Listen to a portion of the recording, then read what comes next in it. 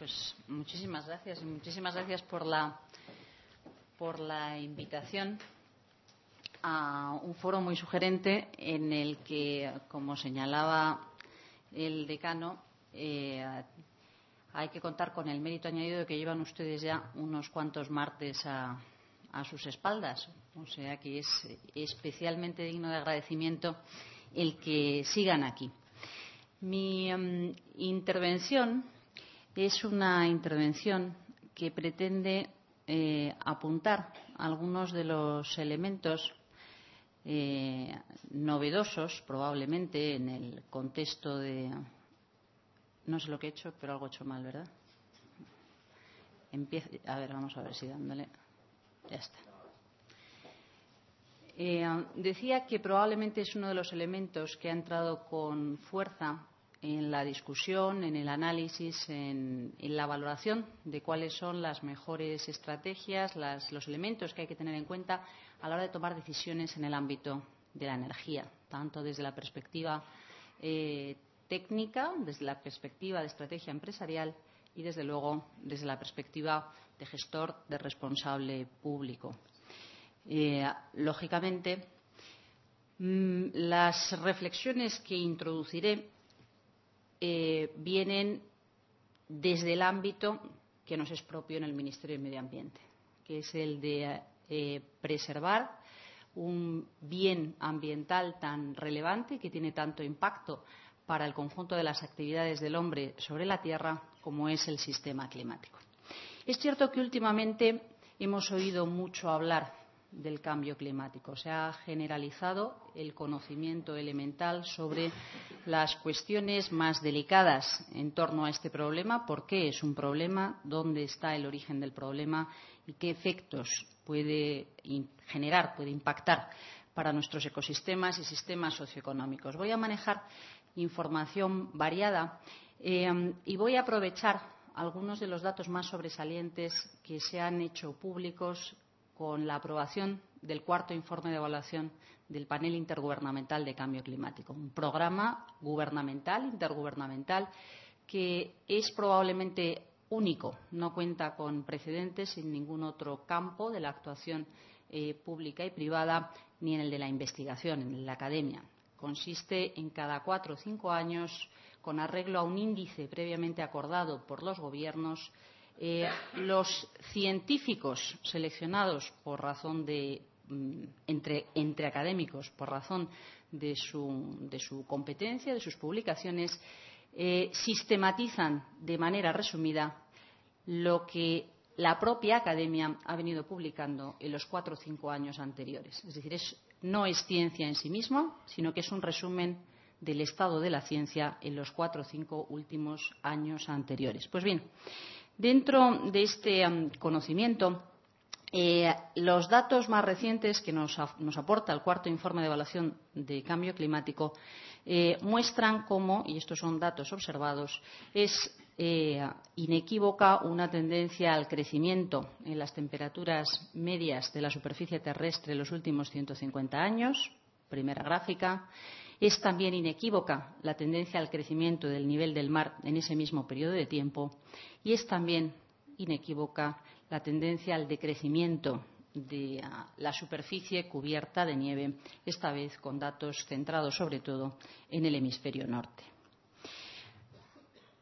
Manejando datos de temperatura,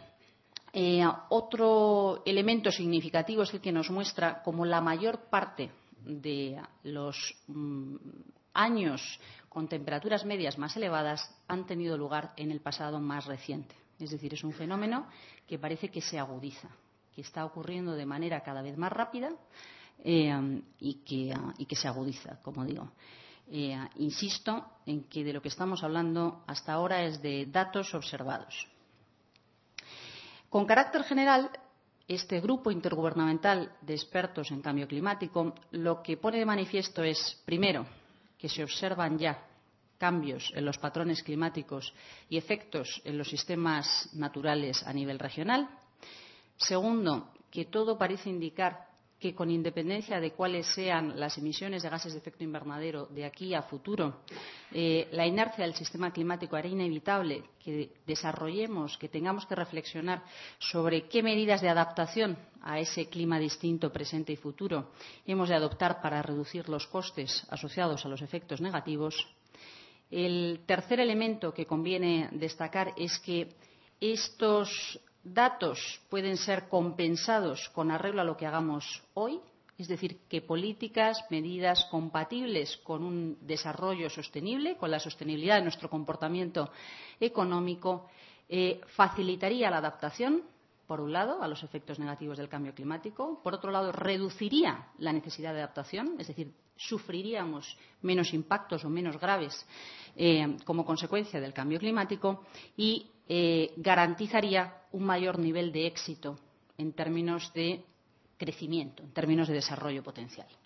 Por tanto, una idea fuerza que está presente en todos los eh, procesos de reflexión académica y en los procesos de reflexión política también es que es imprescindible abordar estrategias de mitigación de gases de efecto invernadero lo más ambiciosas posibles. Esta es una gráfica muy conocida procedente del informe Stern. Es eh, eminentemente expresiva. Pone de manifiesto cómo en algunos de los elementos más relevantes para el desarrollo de la actividad del hombre en la Tierra, como es el acceso a alimentos, el acceso a agua, los ecosistemas, tal como los conocemos hoy, eh, la mayor o menor frecuencia de fenómenos meteorológicos extremos, puntas de temperatura frío-calor, eh, inundaciones o, heladas, sequías, eh, así como los riesgos de lo que los climatólogos llaman cambios severos y irreversibles en el sistema climático se acrecientan conforme va creciendo la temperatura media de la superficie del planeta. Nos va mostrando cómo con el crecimiento de la temperatura media hoy ya conocida convivimos, de hecho, con algunos impactos en estos campos elegidos como indicadores. Pero también nos muestra cómo, según vaya creciendo la temperatura, entramos en una línea roja que eh, nos puede poner en circunstancias eh, mucho más complejas, mucho más difíciles y mucho más costosas. Es el IPCC el que destaca esta eh, diapositiva también tremendamente expresiva. Estos ya son proyectados. Estos son cambios proyectados en la temperatura con arreglo a algunos de los escenarios de emisiones, de comportamiento económico, de crecimiento demográfico que se manejan en los distintos grupos de escenarios utilizados como premisa metodológica del IPCC para proyectar eventuales impactos. Vemos como, en todo caso, los incrementos de la temperatura se dan de manera generalizada y en algunos de los escenarios para la última década del siglo XXI resultan tremendamente llamativos. Llegan a superar los siete grados de temperatura en términos de temperatura media global. Y esta es una diapositiva también procedente del informe de síntesis del cuarto informe de evaluación, eh, donde lo que nos intenta poner de manifiesto es la proyección en las alteraciones del régimen de precipitaciones a nivel mundial, lo que lleva aparejado prácticamente a renglón seguido eh, impactos muy significativos en eh, la escorrentía, en la cantidad de agua disponible. Es verdad que en términos de cómo se comporta la lluvia no solamente incide la cantidad de agua que cae, sino cómo se distribuye. Este es un dato que eh, se explica muy bien en toda la literatura, pero en todo caso, incluso manejando datos de cantidad agregada, es decir, no teniendo presente el factor distorsionador que es el hecho de que a lo mejor sigue lloviendo lo mismo, pero llueve de manera desigual, muy poco durante mucho tiempo y mucho en un determinado momento, con lo cual prácticamente lo que queda de efecto positivo es eh, limitadísimo, vemos como hay eh, una zona o varias zonas, pero sobre todo una zona eh, entre aquellas que nos importan más que sale especialmente mal parada. Las zonas de, transición climática, las zonas de clima mediterráneo, son algunas de las zonas en las que el riesgo de pérdida de cantidad de agua disponible son mayores. Con ello tendríamos aparejado efectos enormemente perniciosos en suelo, agricultura, etcétera. En fin, lo que nos dice el IPCC de manera muy resumida es que esto, de manera inequívoca, está ocurriendo que además con un alto grado de probabilidad solamente es explicable si se atienden a las, eh, acciones del hombre, al comportamiento del hombre a la hora de, generar emisiones de gases de efecto invernadero y que además eso casa con el tipo de información que estamos manejando con el tipo de um, elementos que han permitido nuestro desarrollo económico y con el volumen global de emisiones y su ritmo de crecimiento en los últimos 150 años, hasta el punto de que nos dan un dato especialmente eh, significativo porque es perfectamente comprensible, visible a escala temporal humana, y es que desde el año 1970 hasta el año 2004 las emisiones han crecido en más de un 70%. Con las políticas actuales de mitigación del cambio climático es eh, prácticamente imposible afrontar los retos que en términos de efectos, de alteraciones del sistema climático tenemos por delante. Por tanto, es imprescindible generalizar un cambio de patrón a gran escala. Es imprescindible abordar eh, políticas de mitigación de, una manera eh, extraordinariamente ambiciosa, como nunca jamás ha ocurrido, cambiando, como digo, el modelo. También se han hecho eh, cuentas en torno a cuentas, lógicamente, partiendo de premisas que seguro que son discutibles, pero tienden a coincidir, por lo menos en, el orden de magnitud, en torno a qué coste puede suponer eh, el cambio generalizado de modelo, sabiendo que en todo caso, como digo, pueden ser cuentas eh, que merezca la pena ser discutidas, analizadas y que no es lo mismo cuánto cuesta en términos globales y todo funciona perfectamente que cómo se ajustan las cosas para que esas dos condiciones se den. Eh, el otro dato último eh, muy llamativo y sobre el que insistía el secretario general de la Asamblea de Naciones Unidas el pasado sábado en Valencia al presentar las conclusiones de este informe de evaluación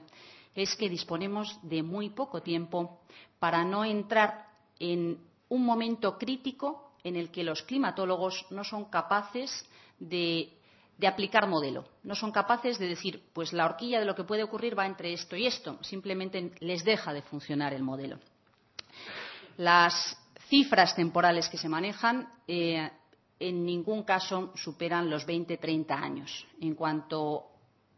generalización de las medidas necesarias para abordar con éxito, como digo, la lucha contra el cambio climático. Eh, ciertamente dependerá del hombre dónde quiere poner eh, el límite, es decir, cuál es el riesgo máximo que está dispuesto a asumir en términos de efectos. Vuelvo a recordar esa diapositiva con las flechas que pasan del amarillo al rojo del informe Stern y que en función de los grados de temperatura media eh, en las que se eleve la temperatura media del planeta, observamos más o menos efectos. Bueno, pues esa temperatura media depende del grado de concentración de CO2 equivalente en la atmósfera y debemos ser nosotros los que resolvamos, los que decidamos cuál es el tipo de riesgo que estamos dispuestos a asumir. Lo que nos dice el IPCC es que más o menos eh, con la columna número uno de partes por millón, nos encontramos una correspondencia en términos de probabilidad de incremento de la temperatura media global con una fecha más o menos aproximada de en qué momento se debería producir el álgido a nivel mundial de las emisiones de gases de efecto invernadero en las próximas décadas y cuál es el objetivo porcentual también de modo global de reducciones de gases de efecto invernadero en la atmósfera para el año 2050 en relación con las emisiones del año 2000. Lógicamente, el criterio de, de, de, prudencia nos orienta, y esta es la elección que ha hecho la Unión Europea, a pensar más bien en el escenario 1, en la primera fila o en la segunda fila. Porque incluso poniendo el mejor de nuestros empeños, no es descartable que sea un cálculo optimista y nos encontremos con que no alcanzamos ese nivel en la fecha prevista. Eh, aquí el señor Stern esto lo explica de manera muy gráfica. Dice, mm, ¿ustedes se montarían en un avión en el que les dijeran que tiene un 90% de posibilidades de aterrizar sano y salvo? Pues algo parecido es lo que ocurre con esto. Es decir, ustedes eh, asumirían el riesgo de poner en cuestionamiento el tipo de información que nos está dando el conjunto de la comunidad científica y dirían esperemos a ver cuánto más al 100% me confirman para adoptar medidas, pues probablemente a la hora de evaluar riesgos estamos en una situación muy parecida y debemos abordar medidas de manera radical y urgente. Eh, no es nada fácil, eso es evidente. Esta es la gráfica de cómo deberían comportarse las emisiones en función de cuál fuera nuestra elección en términos de concentración máxima de gases de efecto invernadero en la atmósfera. Si no hiciéramos nada, nos estaríamos moviendo en un ritmo de crecimiento a lo largo del siglo XXI marcado por la línea azul oscuro. Si quisiéramos lograr una reducción de la concentración o una limitación, un, un, máximo de concentración en la atmósfera en torno a las 450 partes por millón, deberíamos movernos en la línea roja y si asumiéramos un escenario algo más flexible, con un incremento de temperatura media global asociado a algo mayor, nos deberíamos mover en la línea amarilla. En todo caso, un rápido decrecimiento de las emisiones. ¿Y de dónde proceden las emisiones? Pues típicamente en un país industrializado, es decir, la primera eh, tabla, del de sector de la energía del conjunto de procesos energéticos, del conjunto del consumo de energía por parte de nuestras sociedades, hasta casi un 80%. Es un, un, una España representa una muestra tipo, lógicamente, de, del conjunto de los países industrializados, prácticamente en todos, con muy puntuales excepciones, donde el mix energético tiene un peso eh, distinto, eh, esto se altera. Eh, y en los países no industrializados, pues ocurre algo muy parecido. El mayor volumen de las emisiones procede, con carácter general, del sector energético, con alguna eh, eh, puntual eh, matización, como son las emisiones procedentes de cambio de usos de suelo, tierra y silvicultura, que tienen un valor extremadamente importante en la zona de América Latina representan en torno al, al 20% del conjunto de las emisiones a nivel global. La deforestación representa en torno al 20% de las emisiones a nivel global. Pasamos ahora, que me he pasado dos,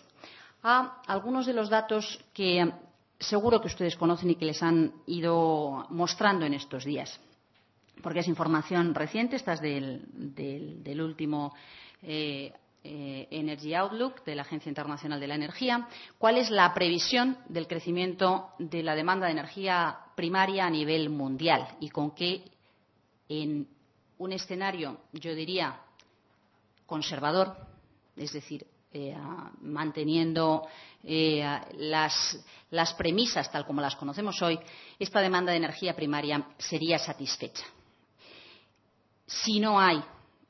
cambios eh, inducidos por una voluntad regulatoria en gran medida, pero acompañada por un potencial tecnológico potente en sectores como, por ejemplo, la energía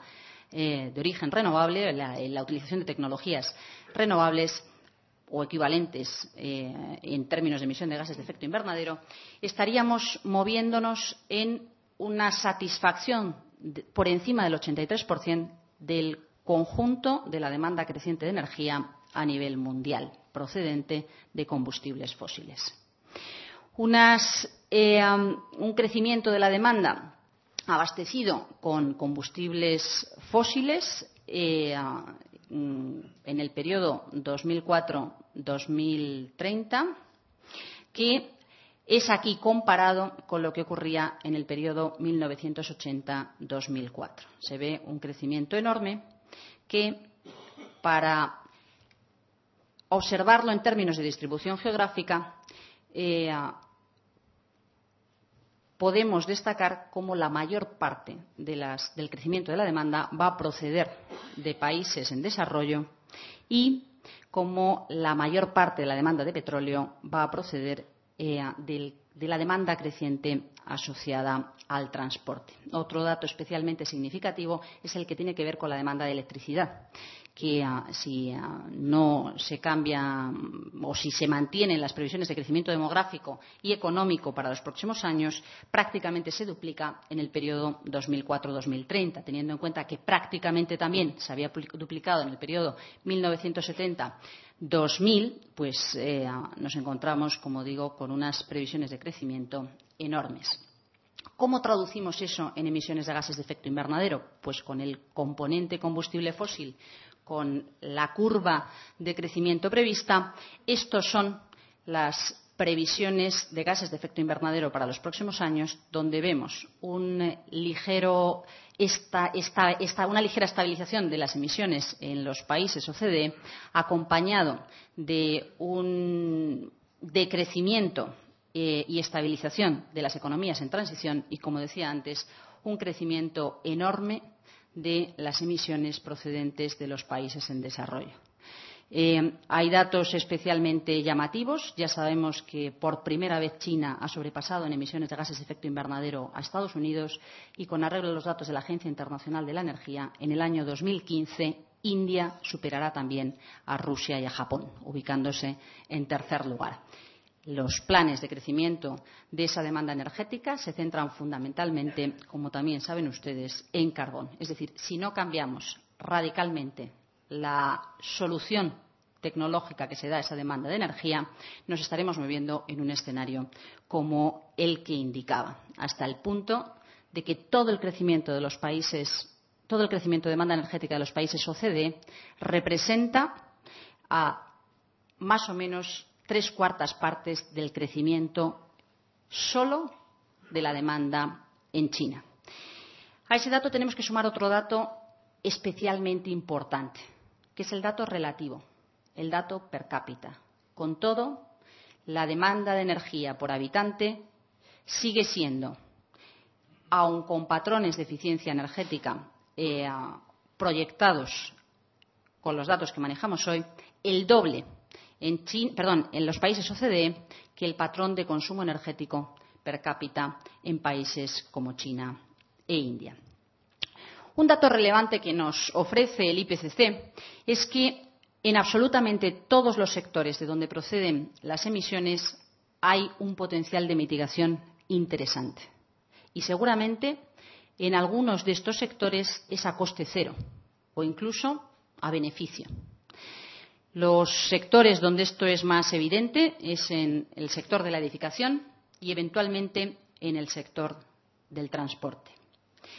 La Agencia Internacional de la Energía maneja escenarios alternativos. Es cierto que esta cifra, como decía antes, o estos escenarios tienen un punto crítico desde la perspectiva metodológica y es que trasladamos los parámetros, los patrones, el estado del conocimiento tecnológico que tenemos hoy, es decir, eh, ciertamente proyectamos de manera conservadora el potencial de las nuevas tecnologías y el potencial de disminución de costes asociados a la generación con nuevas tecnologías. Esto lo hemos conocido en el pasado con eh, soluciones tecnológicas como la eólica. Todo hace pensar que también, en términos relativos, ese tipo de ahorro con el paso del tiempo nos permita manejar escenarios mucho más optimistas. Hay algunos datos enormemente interesantes, tanto procedentes de la Agencia Internacional de la Energía como del IPCC, en torno al tipo de, medidas que se pueden adoptar por cada uno de los sectores que, computan en un inventario de gases de efecto invernadero con componente energético, tanto en el sector industrial como en los sectores de edificación o transporte, como en el sector de generación de electricidad. Y hay un elemento fundamental que eh, aparece reflejado en cualquier análisis eh, a futuro. Y es la necesidad de incentivar un cambio tecnológico. El IPCC dice algo que es interesante y es que con el conjunto de las tecnologías hoy ya conocidas es posible alcanzar a un coste razonable y menor del estimado en evaluaciones anteriores reducciones muy significativas de emisiones de gases de efecto invernadero, incluso para hacer cumplir eh, el objetivo marcado por la Unión Europea de no superar los dos grados centígrados en el horizonte eh, temporal que estamos manejando, pero que es imprescindible la generalización de las tecnologías hoy ya conocidas y que ese potencial es mucho mayor si desarrollamos, si innovamos en las tecnologías hoy en fase embrionaria o vamos más allá. Por tanto, la discusión que vamos a tener en términos de cambio climático, y es una discusión que está encima de la mesa, es cómo podemos facilitar la generalización de las tecnologías hoy ya conocidas, la promoción de nuevas tecnologías y, sobre todo, cómo podemos garantizar que el tipo de flujos financieros que requiere ese cambio de premisa de manera generalizada a nivel mundial tiene lugar y tiene lugar en tiempo útil. Hay algunas de las herramientas que hemos experimentado en el contexto multilateral hoy existente, en el protocolo de Kioto, que se identifican como elementos de éxito. Significativamente, el poner precio al carbono, la existencia de mercados de carbono que envían una señal clarísima al inversor público y privado. Hay algunas cifras que hemos estado manejando que no voy a pasar rápidamente porque si no, no llegamos hasta el punto de que en estos momentos, cuando lo que discutimos es cuáles son los elementos más relevantes para dar continuidad al esfuerzo multilateral más allá de 2012, hay un consenso prácticamente unánime a nivel mundial de que estos son los elementos más significativos sobre los que nos tenemos que poner de acuerdo. Primer bloque de temas estrategias de mitigación de gases de efecto invernadero. ¿Cuáles son las contribuciones de los países eh, industrializados y de los países en desarrollo? La Unión Europea ha dado un primer paso adelante vinculando el objetivo de cambio climático con los objetivos en materia energética. Es decir, eh, es imprescindible que ambos objetivos vayan juntos, son absolutamente complementarios y son, en todo caso, una apuesta por la innovación y por la competitividad a medio y largo plazo. Quien antes logre eh, soluciones de baja intensidad en carbono y generalizar ese tipo de soluciones habrá ganado la carrera de competitividad futura. Eh, segundo elemento, no es posible el que la solución proceda exclusivamente de los países industrializados. Antes lo hemos visto. La previsión del crecimiento de la demanda en los países en desarrollo es tan enorme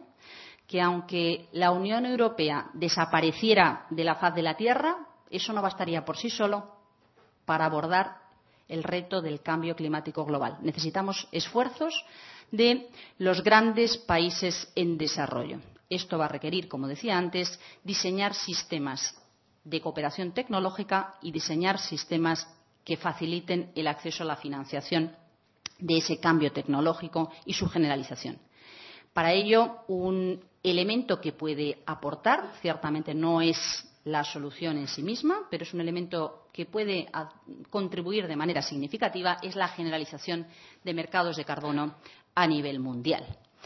El otro componente también significativo será, como decía antes, los patrones que permitan la difusión de la tecnología hoy existente a precios eh, razonables el apoyo de las decisiones de mitigación de gases de efecto invernadero con estrategias de adaptación a los efectos residuales del cambio climático, algunas de ellas también eh, seguros significativas en el sector energético, el abordar otras emisiones asociadas a consumos energéticos que crecen de manera desmesurada, significativamente las que proceden de la aviación civil internacional, que hoy no cuentan con ningún marco incentivador para la eficiencia o las reducciones de emisión más allá de la factura del queroseno que um, consumen